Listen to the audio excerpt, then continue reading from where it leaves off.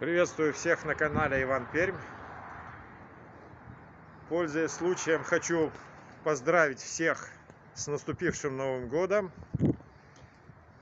Россия продолжает свой марафон по поеданию салатов оливье, а простые американские парни в моем лице продолжают трудовую вахту на благо своей страны.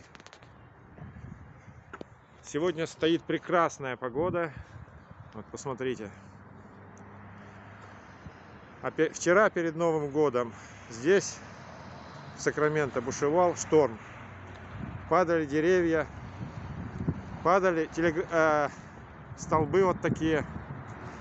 И в итоге пол Сакрамента осталось без света.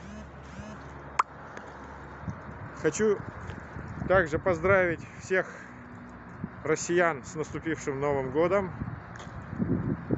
Желаю, чтобы в этом году как можно быстрее Россия осознала, в какую бяку она влезла. Россияне поняли, что ведут войну неправильную, несправедливую.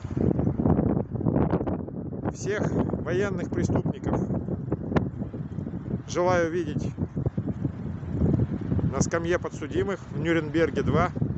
Всех тех, кто